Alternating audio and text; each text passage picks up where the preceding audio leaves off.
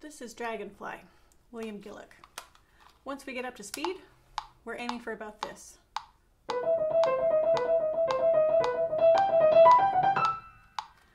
How to get there from where you start.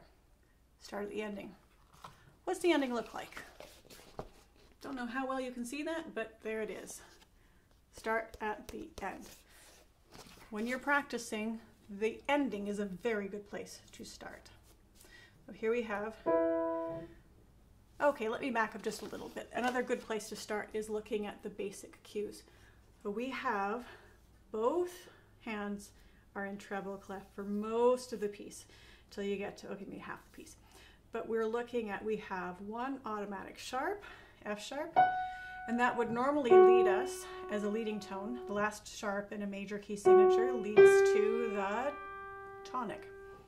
So if this were in a major tonality, here we have Do is G, Do is G. However, this could be a minor, and check out the very beginning. It starts on La, so when G is Do, then E is La, and indeed, look at the ending here. We have E and B. So that's where we're going to end. So let's get the tonality in our minds, in our ears, in our in our in our thinking. So have La, Do, Mi, Mi, Si, Mi, Re, Ti, Si, La, Do, La. So now you've got another way you could do that is La, Ti, Do, Re, Mi,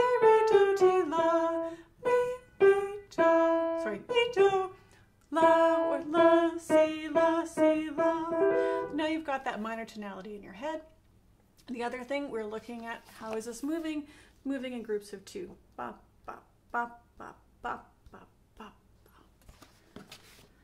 So the ending. I'm gonna start there, open fifth, and we have a sixth here. Now, where does this come from? It would have been part of an E minor triad. La, do, mi. So do is in the right hand. La, I can't sing that high. La, is in the right hand. And then we've got the leading tone right there. That's how we have it. And that's pianissimo. How do we get it leading up to that? So we've got this.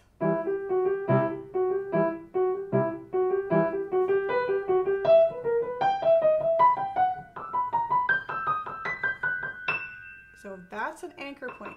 We're going to go octave down from that and end up there. Of course, it will be playing a staccato, but now there's our E minor tonality. Ba, ba, ba. Now the anchor, every time you have an accent, and right now, where am I starting from? I'm at measure 14, 15, 16, going through the end. Look at these accents. So E, E, E, B, E, G, sing that high. So.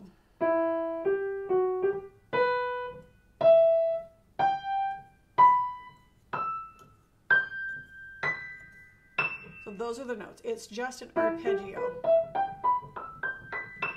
Starting from here and then going up there. So we have this one E and a two E and a three E and a four E and a, you could also say it data duta data duta duta data data duta data duta and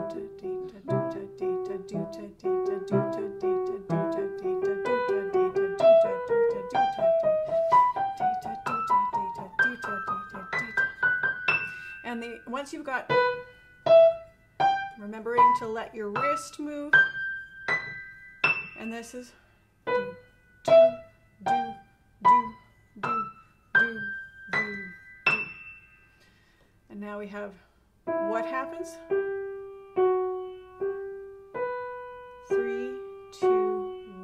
That three two one you're going to be using that all over the place. So that's the next thing that you would isolate. And then you're going, going up to there. No too far. Sorry I went too far. So it only goes up to there. So we have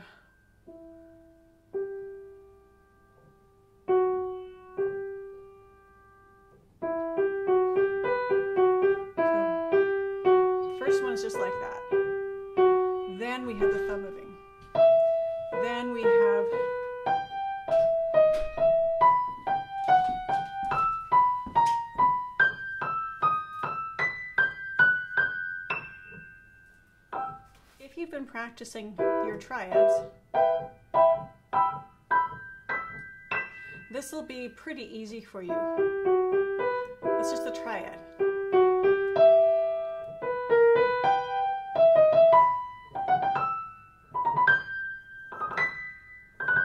If you haven't, then practice this with the dotted rhythms. Remembering to keep yourself nice and relaxed.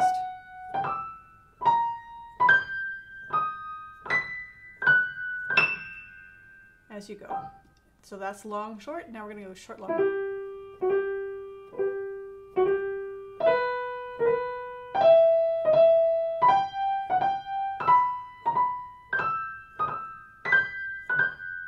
short as long as you need and long as long as it takes. Then you'll get more complicated. So long, short, short, short, long.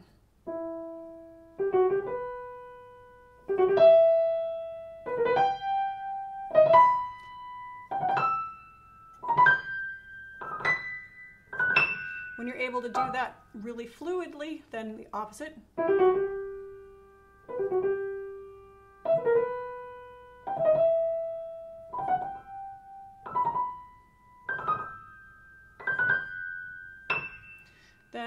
Long, short, short, short, long, short. Sorry, short, long, short, short, short, long, short, short, short, long. In other words, the second in the group of four is long. Everything else is short.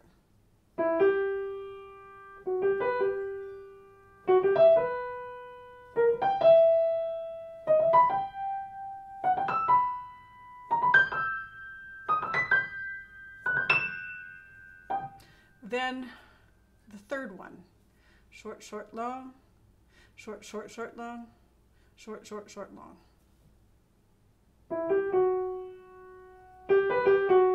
Watch their fingering.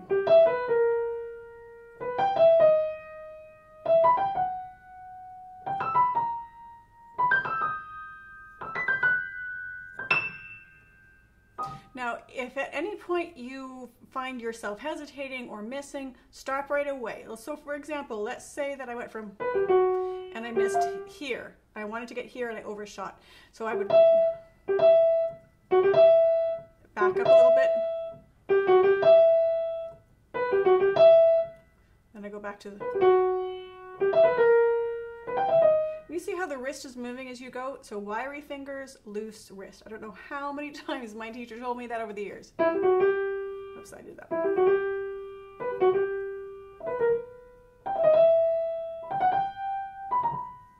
So I missed there. Backing up a little bit from it.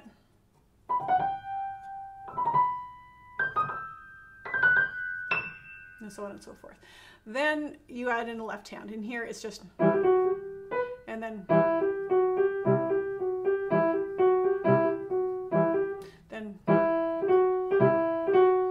again with the dotted rhythms and of course you'll do them perfectly and correctly because you're not trying to talk at the same time as you are playing.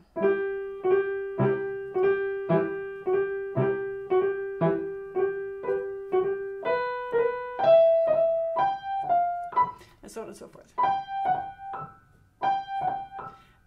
Able to play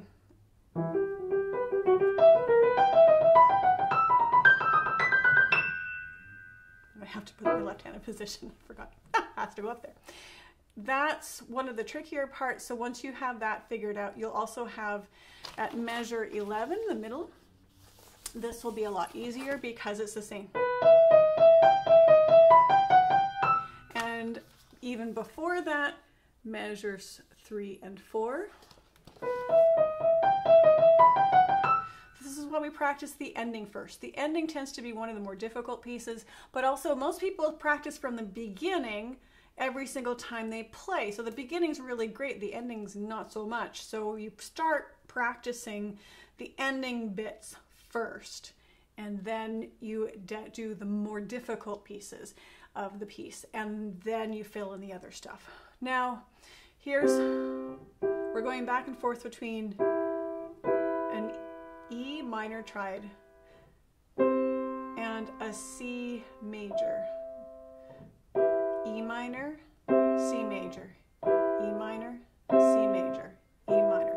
Now that's just in terms of what the triad itself is identified as. But it's all of this is within the context of E minor tonality.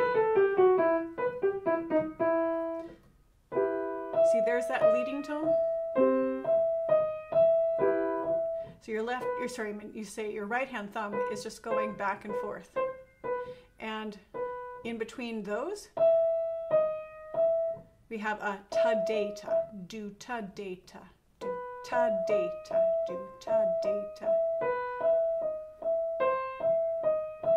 All of this is a dragonfly, and Gillock, the composer, has requested that we consider this as moving quickly in strict time. In strict time is composer speak for please don't rush, keep it steady. This is a diligent dragonfly.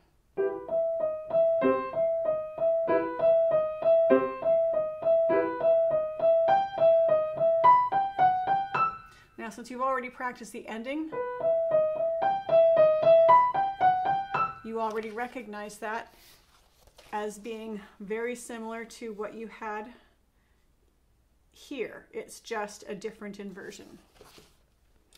Now adding in, we have a different chord here. It's from an F sharp minor with a major seventh, uh, sorry, minor seventh, I mean to say, F sharp minor, minor seven chord. We take that C out, put it up here. So.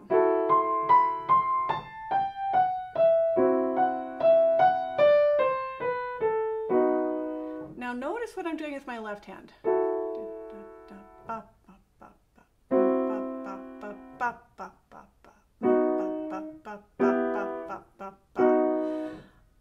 Holding, wait, I missed the articulation. I was holding all the way to the rest, but look at that. Above the fingering, we have that articulation. So this is actually just as detached. It's a little marking there, so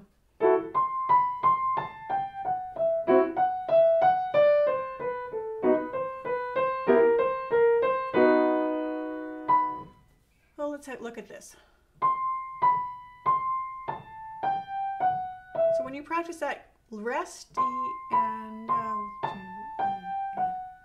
rest E and only using the first three fingers, the thumb, the pointer, and the tall. And we're going to have start with a rest E, rest and these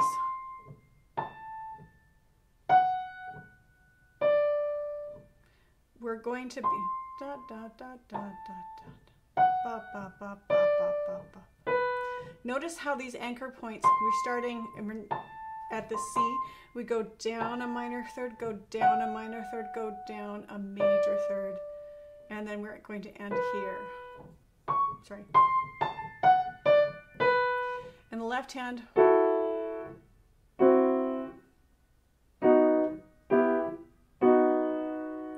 And in the key of E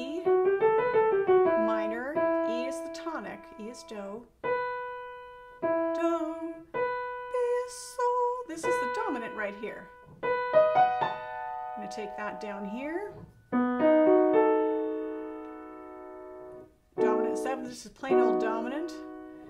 And then we're going to the, this is an E minor chord. So there's a one chord in second inversion to the dominant chord. So dominant, tonic, dominant.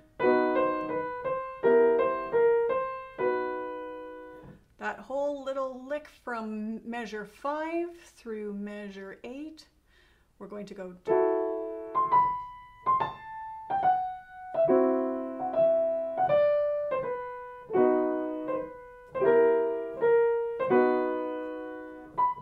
Dotted rhythms again, then the opposite.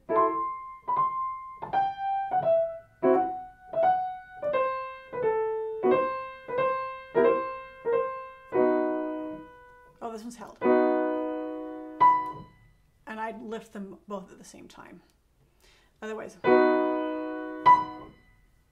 I feel it's cleaner when they both release at the same time. So the opposite, we're at measure five again.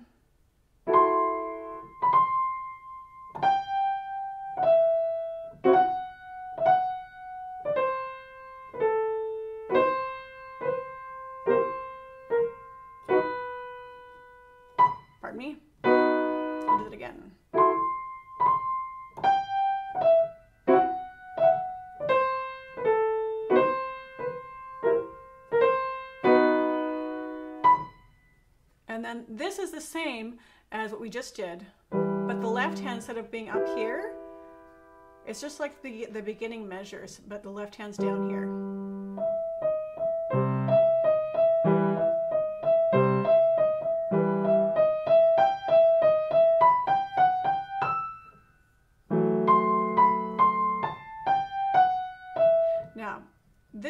It's going to be, get a little different. Watch the left hand. If we started out here, we're going to keep these two notes, the F sharp and the A, but instead of playing the finger three on that B, we're going to open the hand a little bit, adjust the wrist so we can fit that. Otherwise, if you try to do that, you kind of do this weird thing. So let your wrist move. This is why we need to have loose wrists and wiry fingers so that this is easy. If you find your wrist locking up, stop. Ask someone for help.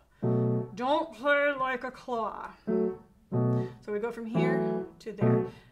Bass note goes from there to there.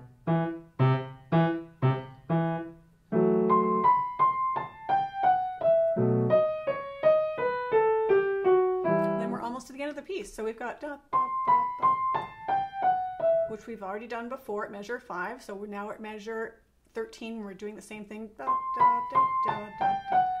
Now before it went like this, but instead of starting on the F sharp with finger three, we're actually going to start with finger four on the D sharp. Ba, ba, ba, so this is where we're ending up. This is why we have this fingering. Sometimes we'll check out, now how do we, I want to end up there with finger one, but I'm starting out at this D sharp here.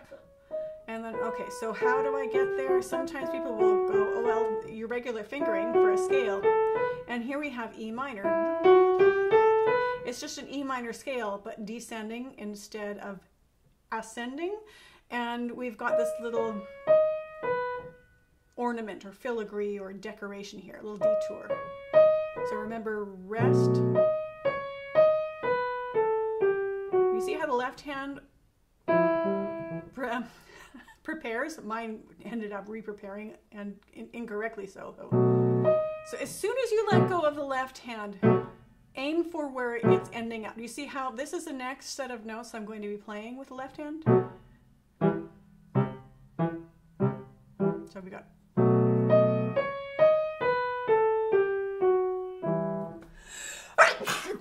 excuse me.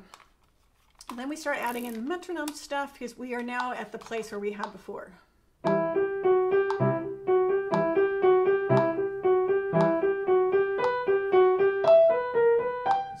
Beginning. And this is metronome marking 58. So I'm taking this more or less half tempo, a little bit, no, not quite half tempo, but start with. If you find that's too fast when you first do a run through and you'll know it's too fast if you make mistakes. Mark where that mistake happens so that the next time you practice the piece, so let's say for example, you missed the left hand here take your pencil, circle that, and the next time you practice it, start practicing the circled bits. Before you play, don't go from the beginning to the end. Do the most important bits. I cannot stress that enough. If you remember nothing else from what I tell you, slow practice, strategic practice, and don't just go from the beginning every single time. Make sure you're taking care of the bits that threaten your flow, your ability to be consistent and have a steady pace and confidence. Deal with the tricky bits so that they become as easy and effortless as anything else. Then you get to play with such ease and such joy. It's a gift, it's the gift you give yourself as good practice. back to 58 beats per minute. See how I'm taking a moment to check the tempo? Duta data, duta data, duta data, duta data. Look at that. Duta data, duta data, duta. If you have one of those analog style that go back and forth, used to be wind those up, so much the better. You can actually see the beat coming. Duta data, duta data, do day. Here we go.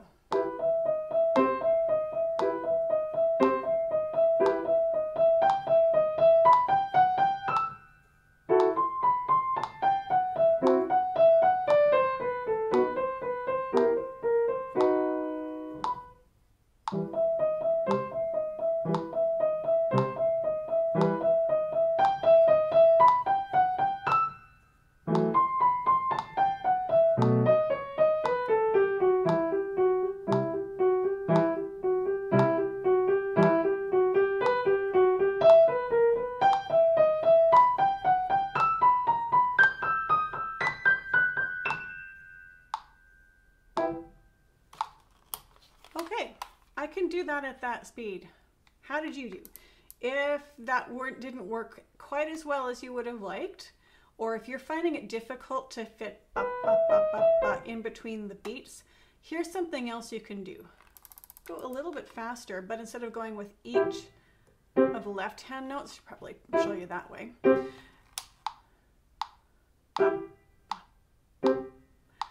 Try it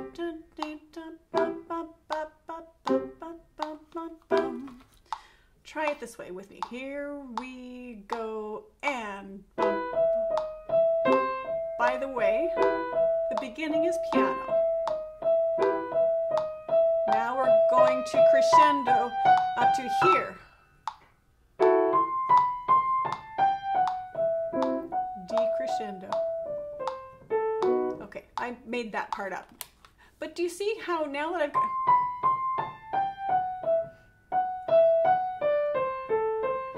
If I mess up, I know where I'm going to end up. So it should be, pardon me, it should be. and I mess this up, but I'm so practiced at keeping going no matter what when I'm practicing as, a, as if I'm performing. I sometimes will practice what happens if I do make a mistake. So in this case, from measure five,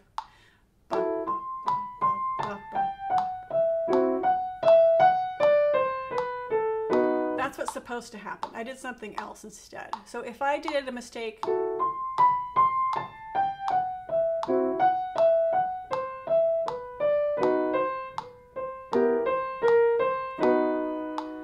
just fill any old thing in that you possibly can in the time available. Obviously, when you're practicing, go back and fix it. But if you are in a performance setting, you've got to be able to keep going no matter what. So now I've practiced that. I've pretty much fixed it, I hope. So I'm going to go back from measure three.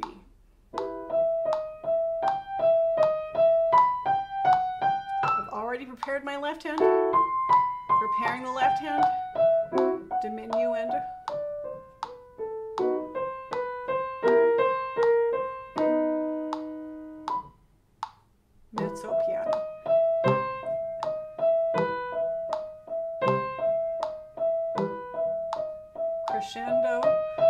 Crescendo, crescendo.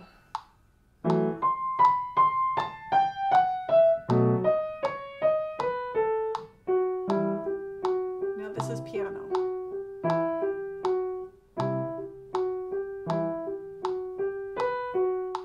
Now I messed that one. Now if that had happened, instead of going,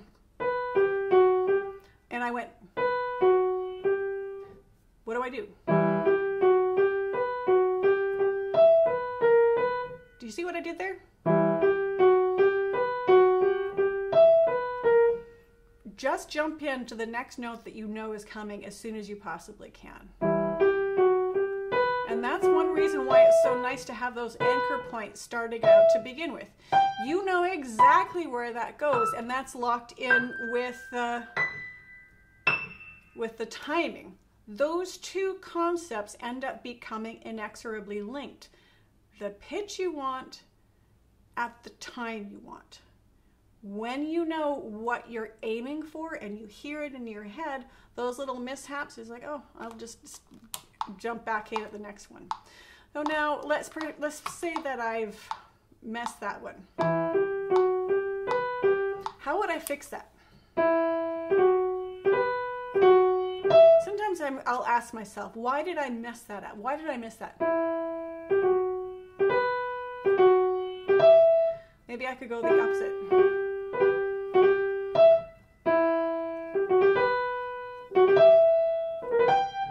Sometimes it's just it needs time for your brain, the back of your brain to settle it through.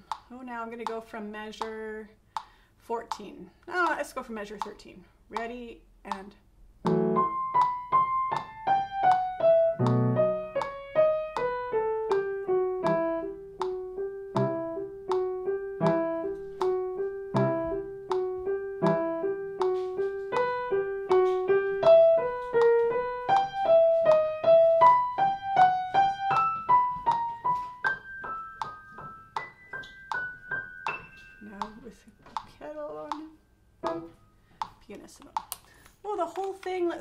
I do. Uh, then I would say gradually increase the tempo still. And a little faster the next time. And then a little faster the next time. Yeah,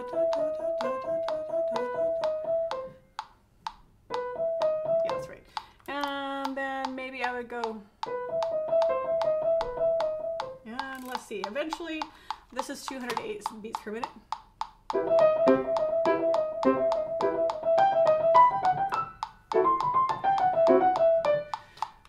Let's see, 100 beats per minute. That's the slowest one. So ba, ba, ba, ba, ba, ba, ba.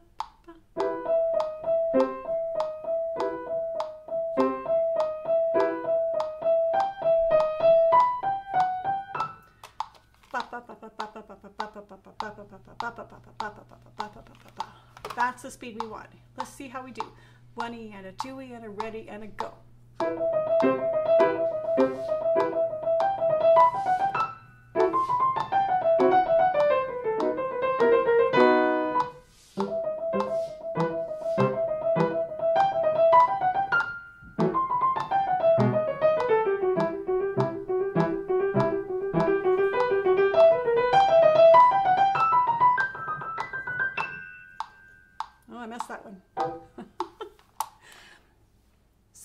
Practice needing to happen here, but there you go.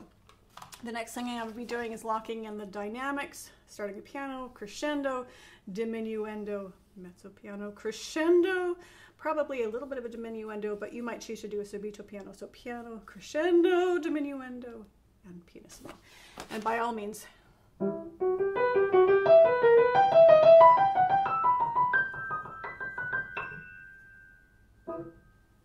practice the ending more than you practice anything else. There you go. Happy practicing. Hope this goes well